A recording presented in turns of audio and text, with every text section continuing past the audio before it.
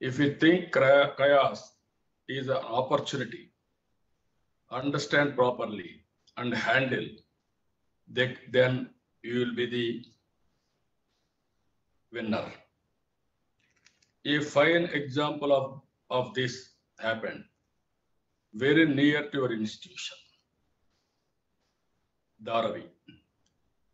Dharavi's handling of the coronavirus showed the whole world and how to create order even in the most chaotic situations.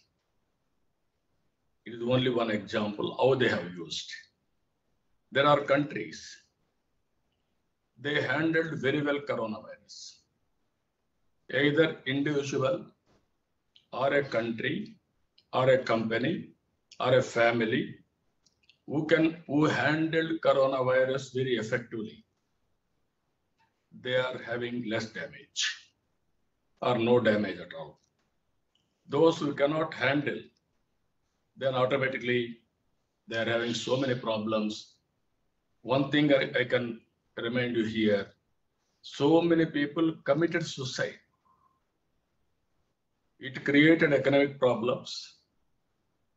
It created psychological problems.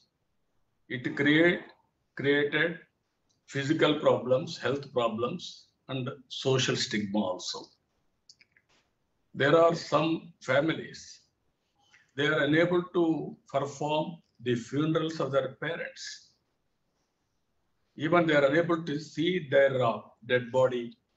You know our uh, traditions we are all human beings. Sentimentally we are all very much involved. That is how this coronavirus has created so many problems. Even here, every week I am having an audit, corona audit for myself, for my party. Even I am analyzing all over the world how things are happening, best practices. Every Sunday, I am sending one bullet bulletin to Government of India for the reference because I involved in public policy for a long time.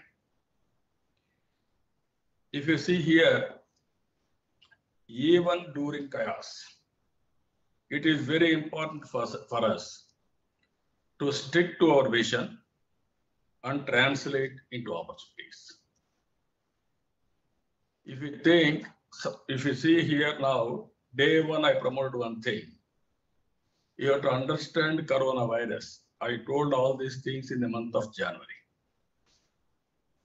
Then you understand it, best way to avoid in spreading coronavirus or otherwise once it comes, then it will become big problem for all of us. After that, I promoted digital uh, utilization a big way, virtual office. And also, wherever you are going out, you have to use mask and preventive measures very strictly, and also social dist- distance. All these things, if you should have followed in a even respect to state governments, damage will be less. This is uh, where, if you can uh, consider here, you are all born post economic reforms. I have born post independence. I have seen one of the best example I'm telling you. In your lifetime or history, one is pre-economic reforms in 1991. In 1991,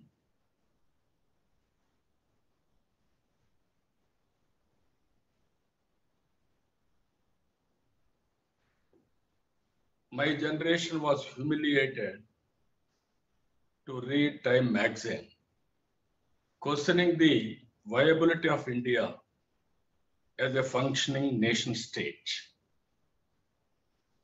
world is used to heckle Hindu growth rate.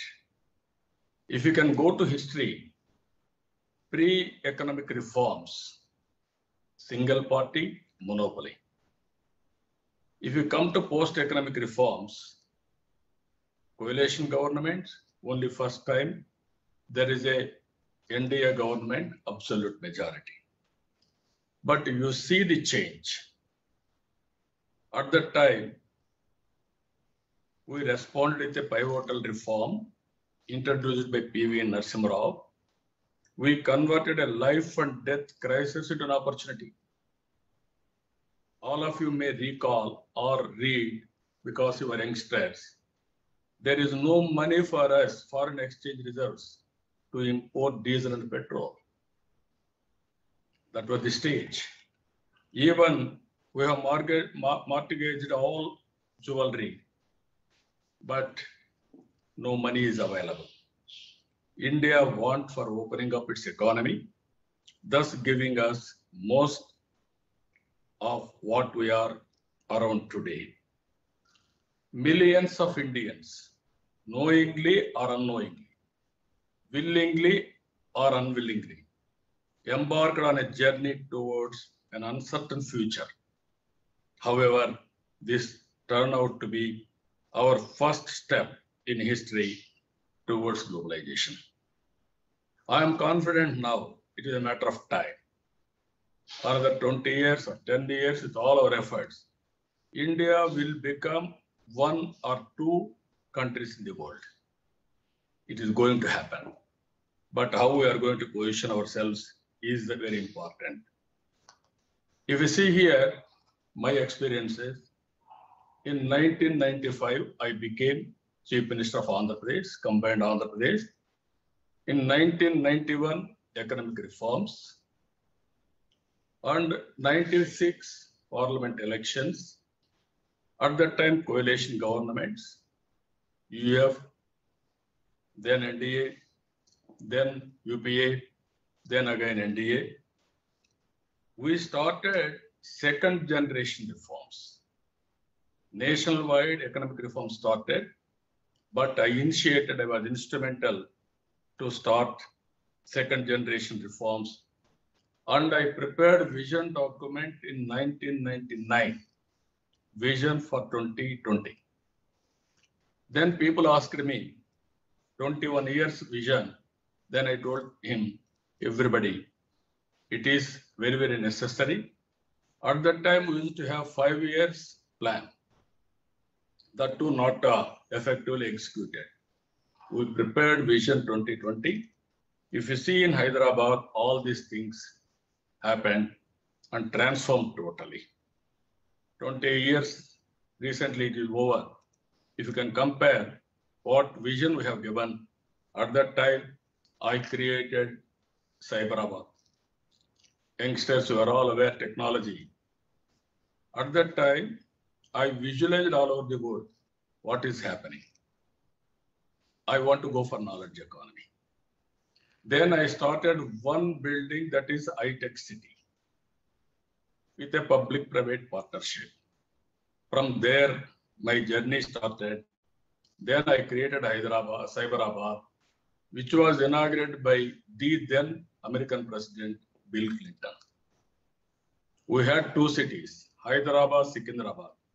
I added one more city, that is Cyberabad, only to promote information technology and knowledge economy. There, if you see, we are all thinking money.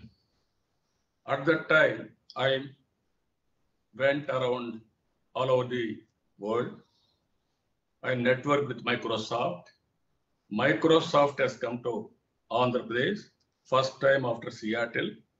Because of that, all companies of IT has come to Andhra Pradesh. I told all over the world, you cannot undermine Indians. Indians are very strong in mathematics and English. So in IT, we are having a unique place. That is how I promoted.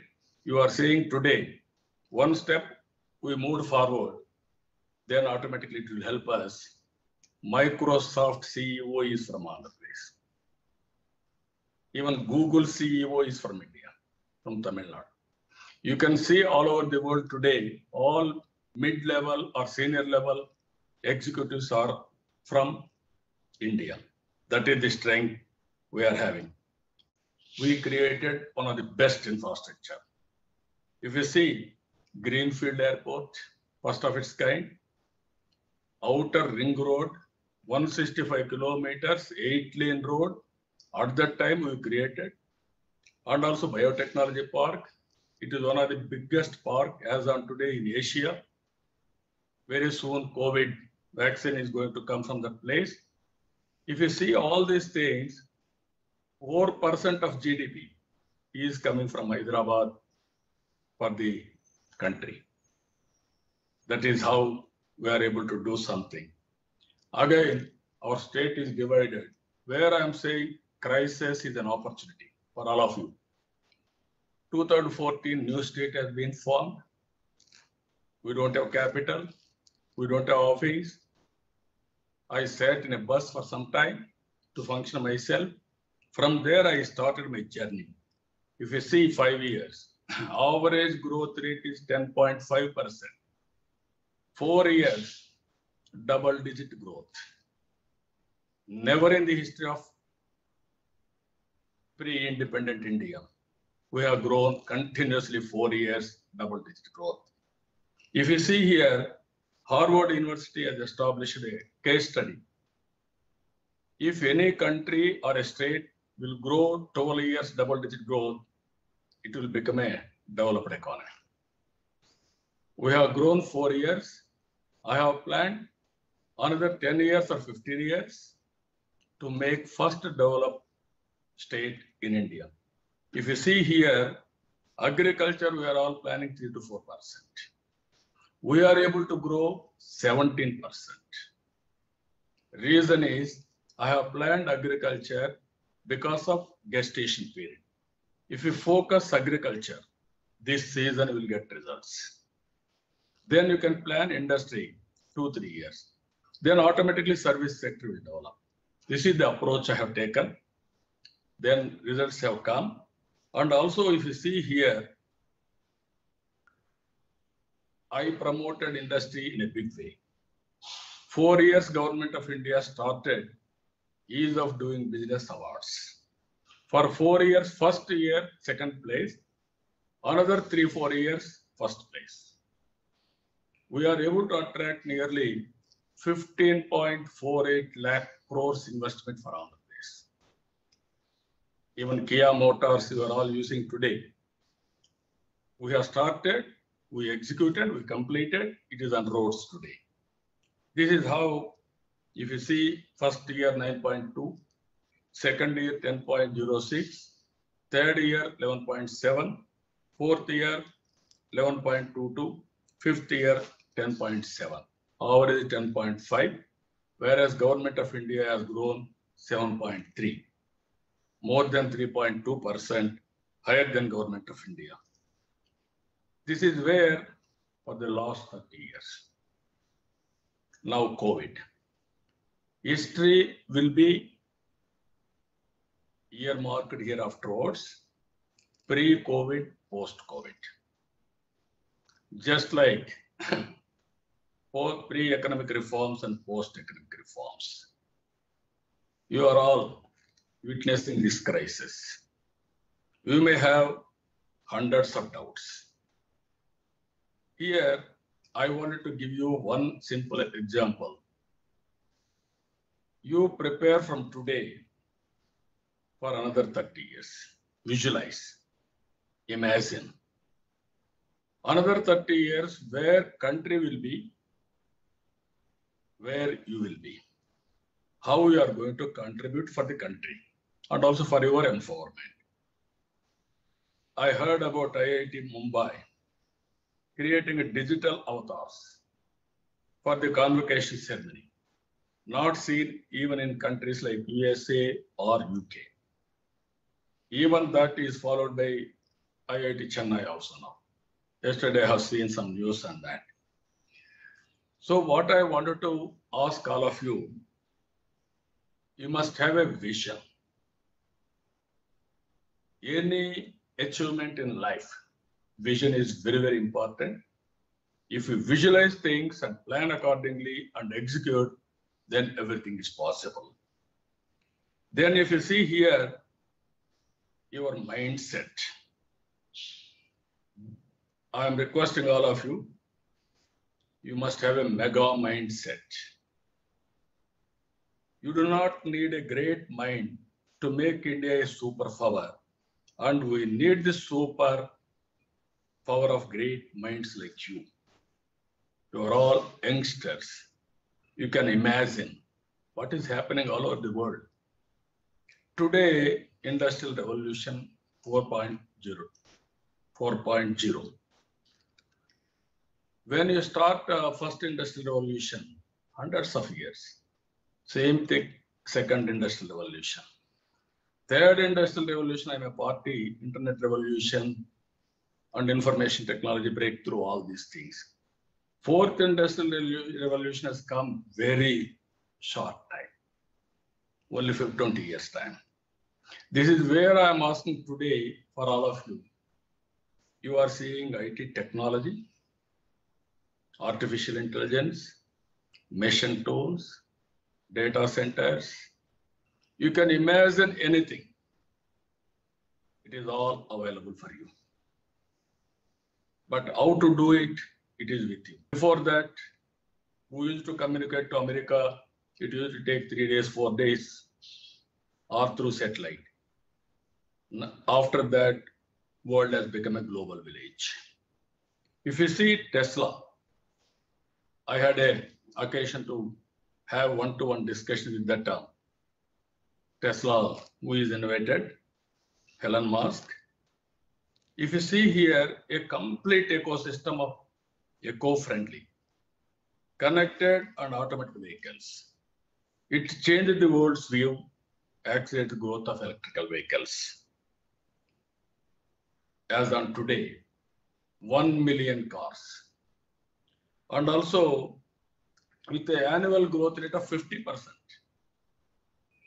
It is the first company to release an annual environmental impact report in 2019.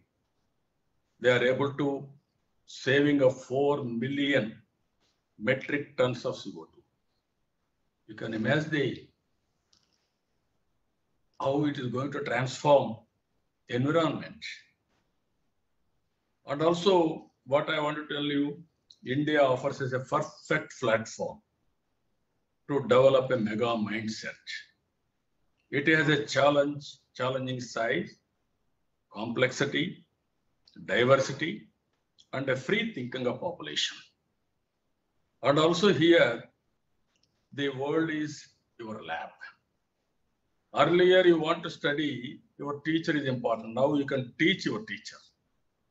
That is the beauty of knowledge today. We are all